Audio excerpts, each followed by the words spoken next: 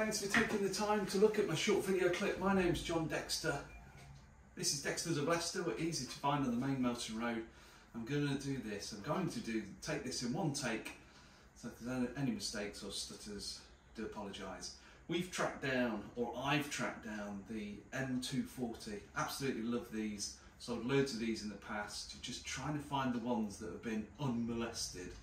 And by that I mean that they haven't been modified, they haven't had the grille or the uh, mirror caps done, so you know they've been driven by a, a, sensible person. But having said that, the mirror caps in black look superb and the grille looks really good, but you know that they've not been messed around with.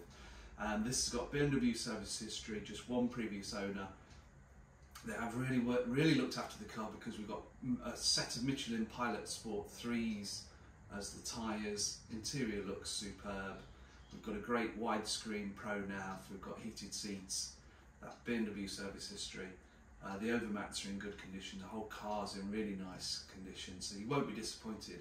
I'll stop waffling and I'll take you outside and show you around the car. So I'm going to take you through my small prep bay, past the motorbike and the 911, which is for sale. The X3s I absolutely love. But the star of the show, there it is with the uh, LED lights on. LD66 FEV, really does look good. in the bright sunshine, sapphire black, front and rear parking sensors. I actually left it, left it running because I want to just rev it up for you because it just sounds superb. As a standard car, these really are just a, a small notch from the M2 but it really does look good. I've got a rear um, exhaust pipe end cap to get, but everything else, there's not a lot else that would put you off at all. The coral red just absolutely pops and does look really nice. Not too much on the door cards, so when you're sitting in it, you don't really see the coral red, but it is really nice. Dakota leather, and uh, it's all in really nice condition.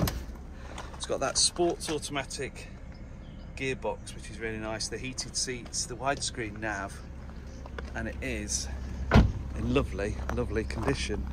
Badged to M240i, and it's a bit of a wolf in sheep's clothing.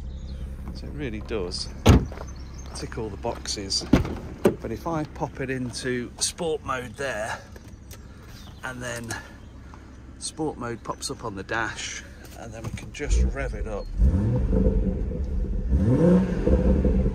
You really do get from those twin pipes. It does look good, it does sound good. Lovely engine in these and just an absolute delight to drive. Do like that, and that's just in normal. That's in sport mode. We take it down into comfort mode. Uh, we've got the widescreen nav, the Pro, media, sports, paddles, heated seats, really nice inside. Just pop that off. Uh, folding mirrors, so it really is a nice example, just one previous owner. So I hope you like the video and if you need any more information, just um, get in touch. We've got email, phone or WhatsApp. But uh, thanks for looking.